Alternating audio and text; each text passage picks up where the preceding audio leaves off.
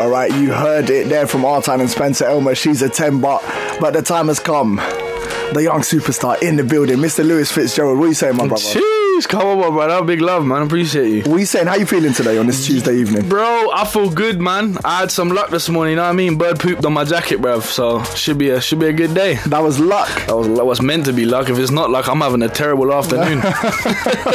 What a mad way to start the day. It can, it can only go up from here. yeah, well, hundred percent, bro. It could- has to. It has to.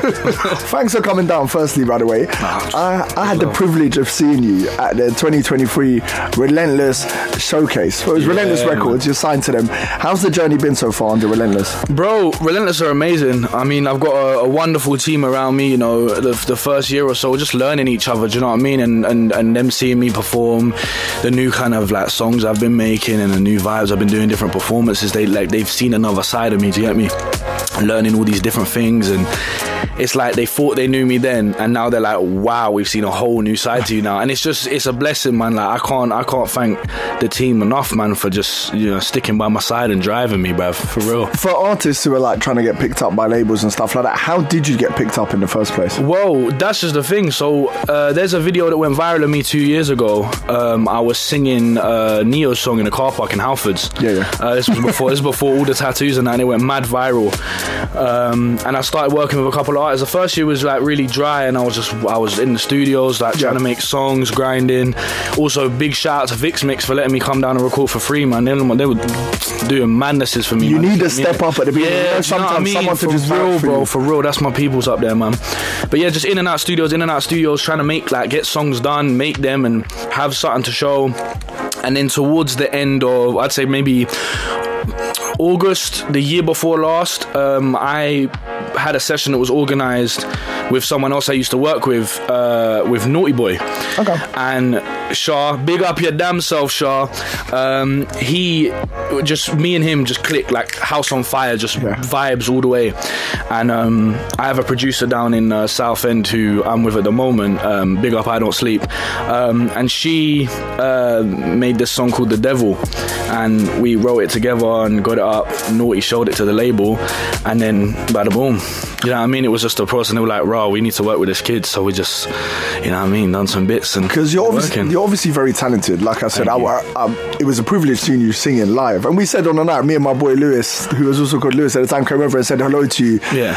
You got a sensational voice, but it's funny sometimes in the industry that they needed like a big time producer like Naughty Boy to come through and Mm. be like, this is the real deal sort of thing. Do you know what it is? In in Naughty's in Naughty said I feel like a lot of labels out there today, um, whether like because I know that they're looking for talent. I see it all the time. Like I know like smaller labels and relentless, or smaller labels, like just their own labels sort of thing that are looking for artists, and they're like, do you know what it is? It's we're we're looking to find something we can work with. Like, and I feel like most of the time with artists that like want to get signed and stuff, you've got to have a package of um, music that you really like.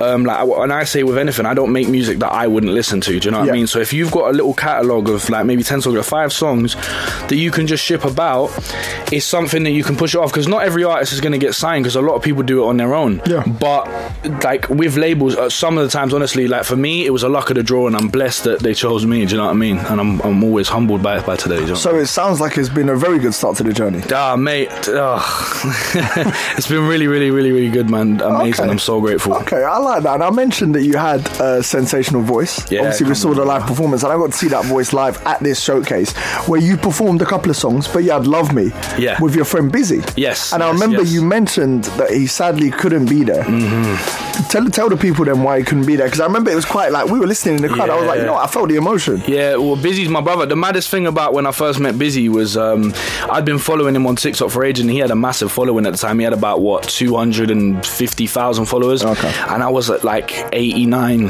thousand, and I would be like, You know, just it. just eighty nine thousand. yeah, um, Just, yeah, just, so- yeah, just the 89. You know, it's, So- it's nice for some. So, so I was um, obviously he, I did a video and it and it popped up a little bit like it done like a couple hundred thousand views, and he jumped on it and like messaged me and was like, "Bro, like you're amazing. We need to work."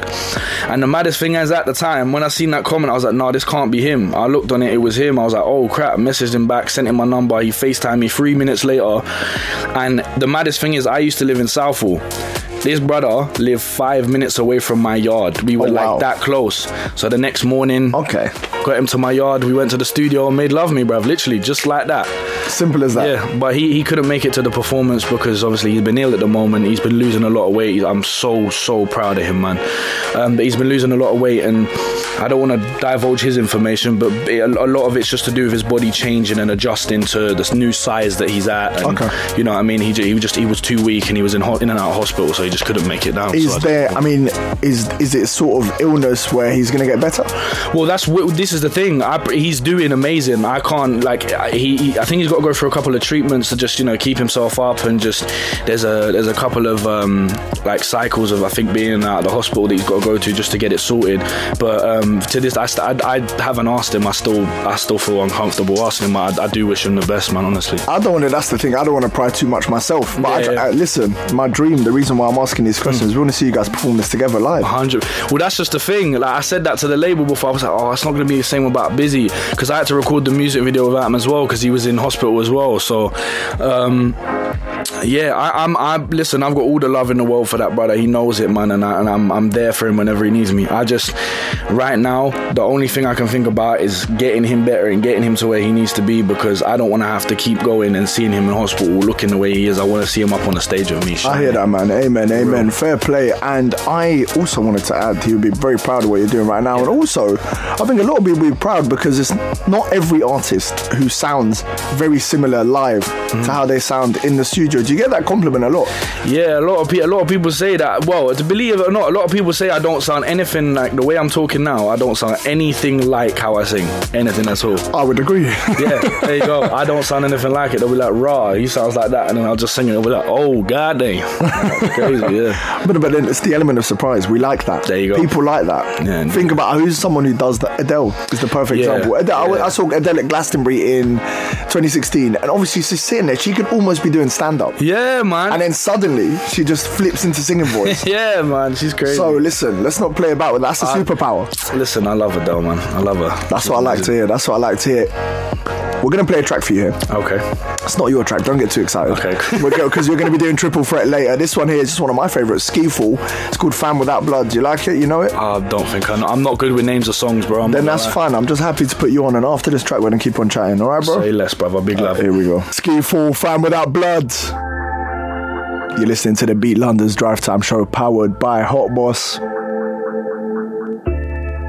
This is Lucy Yakuza, and I just met Karim, and he's amazing. And you should listen to his radio, The Beat London, you know, because that's what good people do. If you're a good person, keep listening. You heard it there. I know you're good people, to Beat London listeners. We are back with Mr. Lewis Fitzgerald. Blah, blah, blah, blah, blah. What are you saying, my brother? You good? I'm a, bl- I'm blessed, bro. Why am I why am I doing my own sound effects when we we ha we ha we ha we got them there. We've got them there. I don't know why I'm going. Yeah, Absolutely no need for that. I do that all the time. We were talking about your sensational singing. Yes. But as you told me now, you're quite early on in your career. Yeah, very early. What would now this is us dreaming and looking into the future. What would a successful career look like to you, say ten years down the line, fifteen years down the line? Well, I don't want to veer off the question because I'm a talker, but um, no, my please, please, yeah, my my like um, my dream, like my whole mantra um, of music, especially since like it, it helped me out a lot, and obviously one of my idols, one of the biggest artists in the world. If I ever get the chance to work with him, oh, oh my god, I can't even imagine in my head. Is Post Malone? Yeah, yeah. And uh, a lot of people compare me look wise to him because I got loads of tattoos on my face. Um, but the, the kind of the the spirit and the place that his music took me when I was in school. Yeah. I know the impact music can really have on people. So I want to be able to be 10 years down the line in a position where I'm setting up foundations for people with mental health, I'm running charities for um, people with, with any sort of mental health or disabilities, people that struggle like like parents on their own or stuff like that. Um, people like like older people that struggle. This is one of the main ones for me as well. Older people that struggle like or like they're widowed or they're on their own and they struggle. They're just alone all the time because I've seen it. I don't know what happens when I'm on my own. I get in my head. You know what I mean? So there's things out there that I feel like need more work and I want to be a part of that. And my main mantra is I want to stand on a stage with hundred thousand people and have them sing back my song. You know what I mean? So I don't feel like I'm alone anymore. They feel the lyrics. You know what I mean? Yeah. They feel what I'm saying. So that's that's where I'm trying to be, man. I want to help the world for real. They're very, very honourable intentions, my man. Yeah, very honourable trust me. intentions. I hope you achieve them all. And I could even, you. bro, even seeing you live so a couple of weeks ago at this Relentless show, uh, we got that feeling from you. You, you were even you, you were happy with ten people singing back your Yeah, track. yeah, yeah, man. I mean, think about it. Think about it as a human. You're sitting there. If you tell a joke to one individual and they laugh, Yeah. it gives you a It nice gives you feeling. good. You feel if you good, sing yeah, something and someone's like, "Oh, yeah, that's nice," or you go out on a night out, they're like, oh, you- Yeah, you're looking man. good. now imagine a hundred thousand people doing something in unison. So I do hear this Cry. dream, and you know what, Mo? I think you're going to achieve it. Keep working hard. Thank Keep you. your head down because you certainly got the voice for it. Big love, you, you got the look. We got a we're, we're bit looking suave, sexy. yeah, come on, bro. Bit of suave. And speak, speaking of the look, so you broke onto the scene as a fresh-faced teenager. I did. I And did. you have to talk to me about the tattoos because I remember seeing the videos when you were kind of breaking onto the internet, Mm-hmm. tattoo free, mm-hmm. and in, in an extremely short space of time. Six months. Yeah, yeah. You you are literally you've unloaded the clip. Yeah, And you're covered in tats. Very cool Yeah. tats, by the way. One of them in Arabic above your left eyebrow. Yeah. What inspired you? Talk to me. Well, do you know what it is, right? I'm a massive fan of history. I'm a massive fan of like I'm a nerd basically. I love like all this like demons, dragons, you know, like like pirates and stuff. I've loved it ever since I was a kid, which is why like I got Assassin's Creed tattoos and stuff like that. Yeah. Um, and when I was younger, I used to watch a lot of Pirates of the Caribbean. Used to play a lot of video games. Banging there film, was- to be honest. Yeah, there was like Jack Sparrow, and then there's like Edward Kenway from Assassin's Creed.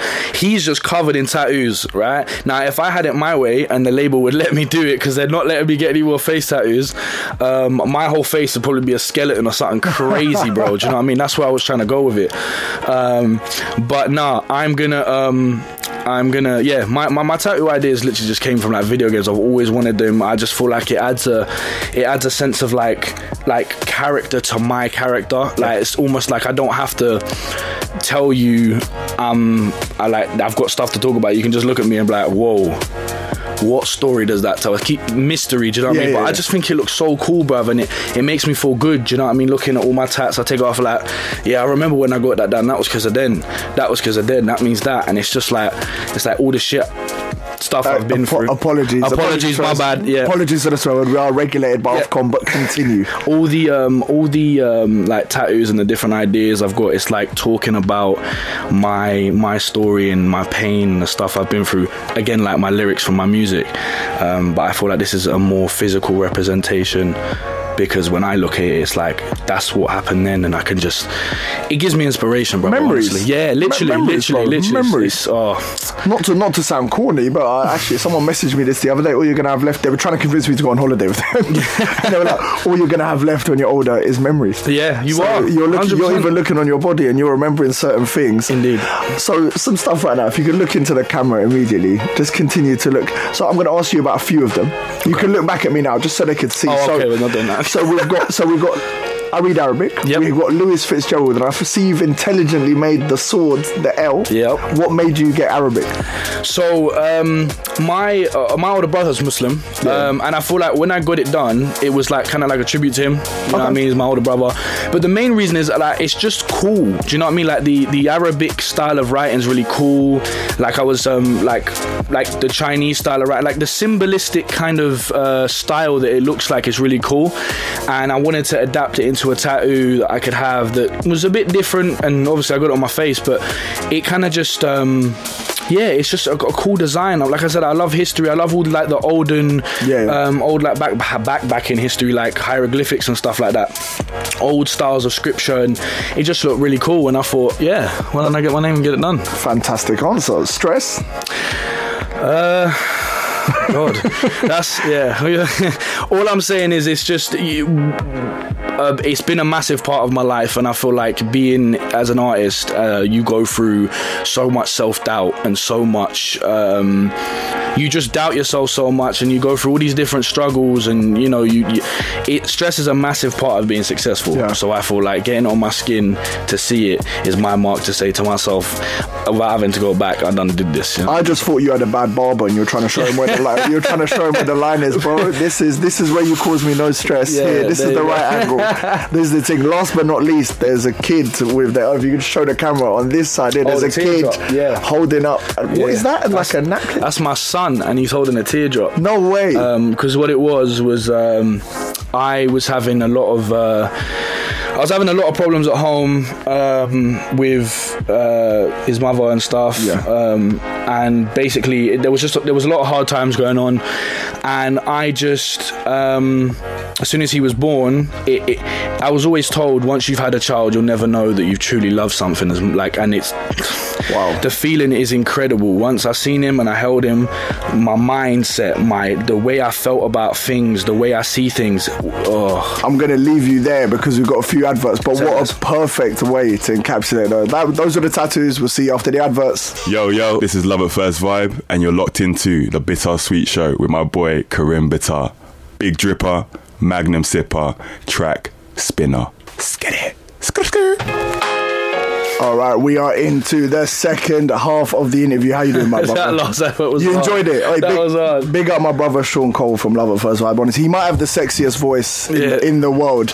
But speaking of sexy voices, we're about to play three tracks of yours. The first one of which in our triple threat segment here is Closure. Take it away, so you got 45 seconds. Yeah, so Closure is a song um, that was uh, I wrote with an um, a producer called Benji. Big up, hey Benji. And um, this was like two years ago, before like when I first went viral and we were in the studio. I wrote a second verse because he'd already had ideas laid down for it.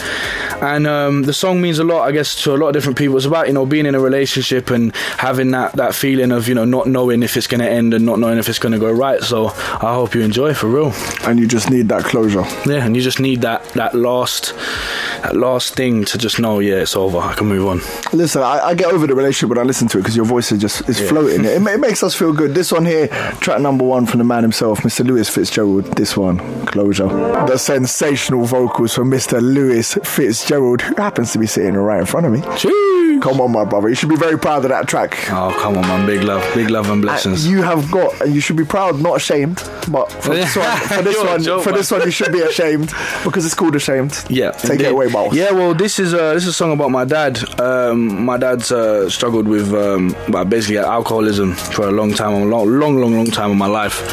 Uh, and the song's like basically just talking about you know that feeling of having one of the strongest characters in your life not be there for you as much as they could be, and it's like losing that you know, especially as a man, like that kind of father figure in your life to make you you know feel stronger. And, and the song's just like talking about like I'm your son, and I don't want to end up like you in a sense of I don't want to end up being in that bad place. Do you know what I mean? So that's what the song's about. So you really, I mean, these first two tracks, you've clearly poured your heart out. Yeah, Into yeah. them both. Well, I mean, the third one as well, to be Yeah, honest. yeah. That that that one's more you know aimed at you know a bigger audience, but these two specifically is like me laying it out. do you Speaking know from I mean? your soul. Yeah. I hear that, my man. There we go. The second track of your triple threat. This is Mr. Lewis Fitzgerald. For anyone who's just tuning in, this is the Beat London 103.6 FM. This one here is Ashamed. That one there, the second track of our triple threat, Mr. Lewis Fitzgerald with Ashamed. Yes, sir. Yes, sir. Okay, track number three, the, final one. one. the big one, the one you have been hyping up, Brothers, yeah, all these things. Talk to us. So, be yeah, "Love Me" is "Love Me" is probably, in my in my opinion, the best song so far of my um, release career. Um, it's very authentic, very like very. Um, it connects with a lot of people. There's been a lot of people that have contacted me about it. Um, obviously, you'll hear Bizzy's on it as well, and, and another brother from America in Florida, Rose Boy. Big up to Rose Boy. I appreciate him jumping on the track. Um, yeah, the song the song's similar to the first one about it's about a relationship, being in that mindset where you're insecure and you don't know if that person loves you, and you're, you're you know you're second guessing everything they're saying, you're second guessing everything, and it becomes too much to deal with. And um, the kind of ultimate stuff, I guess, about the song is it's just my message to people. Whereas I know what you're going through, I've been through it, and you know, just be yourself, bro. I I hear that loud and clear, my brother. And you know what? This has been a very special triple threat. Come on, brother. Three solid tracks, man. Jeez. You should be proud. This is the final one of the three. Lewis Fitzgerald featuring Bizzy as well. Of course, you've shouted him out a few times Yeah. today. It won't hurt to do one more shout out to Bizzy as well. Big up Bizzy. now. Big up Bizzy, This one, love me. You're listening to Karim Bitar on the drive time. You don't know. Keep them vibes bubbling. No girl me touch can't stand a drama. Me make me girl see her on a corner. Every mistress know them policy. Yeah, say for this device of Kranium and right now you're locked in with drive time. Well, this is Beenie Man representing for Bittersweet. Karim, you play the music, everybody say you play unique. Zaka, Zaka, now, now, now. This is the beat. All right, all right. You guys have heard the man himself.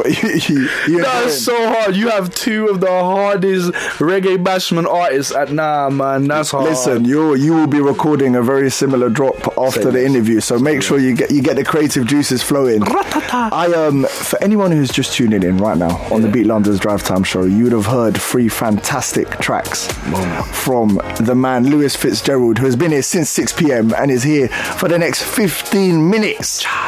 And we've heard the fantastic tracks. have. We've heard about the career. You have. You are Lewis Fitzgerald. the man himself. But the streets are whispering. that- What are they that- whispering? The streets are whispering that there's an alter ego. The streets are whispering there's an alter ego called Toast Malone.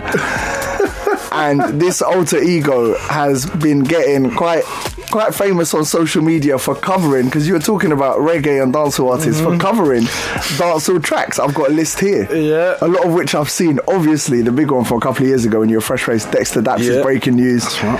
Kranium's Gal Policy. Boom. Prince Swanny's Catch 22.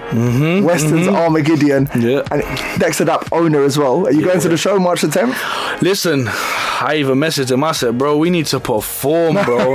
like, for real, we do that, the whole world is gonna go crazy. I promise you that. I think so as well. And then, of course, a couple of days ago, you dropped because your singles are great, Mm-hmm. but you also clearly have a passion in this genre as well. Yeah, man. You dropped me. recently Coffee, Toast. The cover, And I yeah, thought in my head, Toast.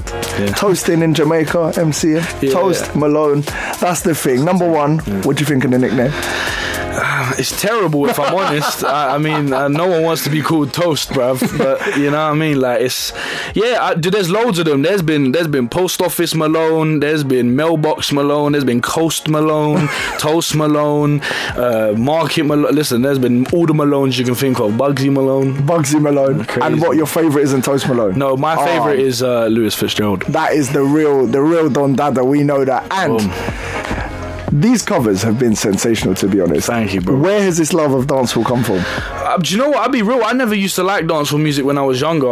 Um, I, do you know what? it- I just feel like it was because I was young. I didn't know nothing. I was, you know what I mean. I was just learning everything. I used to listen to a lot of Irish music. I grew up on Irish. Come on. I'm an Irish kid. You know what I mean. Um, I grew up on Irish music. Grew up on a lot of the Dubliners and stuff like that. And um, and um, yeah, I guess when I got older and I became cooler in a sense, um, I started listening to different types of music, and I feel like uh, dancehall, like bashment, whatever you want to call it, it kind of just grabbed me. Do you know what I mean? And it's like it took my breath away. Like every time I sing a bashment cover or I'm at a performance or whatever, and I've done something bashment, I just get into this different vibe. like um, like I love performing my own music, but to my own music that I have, apart from some of the new stuff I've made. I can't jump up on the stage. I can't have people coming up and dancing and mad things. You, know You I like, mean? you like, the, you like the vibes that come with yeah, dancehall it's, a, it's like that. amazing, and, it's, and I've, I've had so much love from the dancehall community, like on a madness, like they've been incredible. Shout out to all of them, man. Shout out to all my peoples in the dancehall community. A lot have been amazing, man. But honestly, it's just to sh- it's just to show love. I love the music. I think it's such it brings such good energy to your soul. It makes you want to dance. It gets you up. So it's all for love. Honestly, like it's such a like such an amazing set of music, man. It proper touches my body and just makes me go nuts. I don't doubt that one bit, and I think it will be only right on drive time. Seeing as it touches your soul, it makes you excited. We spoke earlier on the phone. Yes, I have Lewis Fitzgerald's phone number. A lot, a lot of listeners will be jealous. Yes, a lot of a lot of the girls out there listen. All right, cool. I called him. I was like, do you think it's possible you could drop a little something, something on the mic? You said you might, you might have something a cappella you could do yeah, right now. I can do something. I can do. A So. I'm gonna, if if you're ready, I don't know if you know, I don't know if you need to well, warm up the vocal cords, take a little sip. I haven't bought you enough water. I need, I thought I should get the liter and a half bottle. Nah, it's alright. You got me. I got you. I went for the small one, so I'm gonna turn down this instrumental here. I'm gonna give you complete silence, Say less. maybe one little air horn in that. and Lewis Fitzgerald, sir, this is your moment. Yeah, big up Dexta Daps, man. This is a this is a good tune. My fight like my candid, my fight like Mohammed. See all them cool hearted when me's all come no most wanted.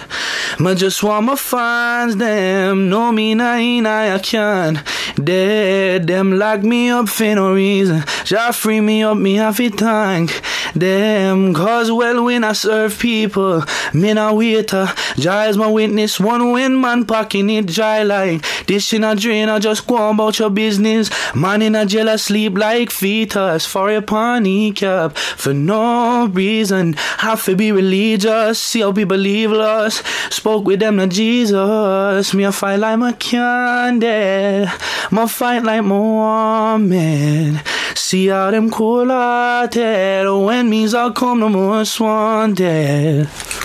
Yo, can we get some? Can we get a round of applause in the building? That was.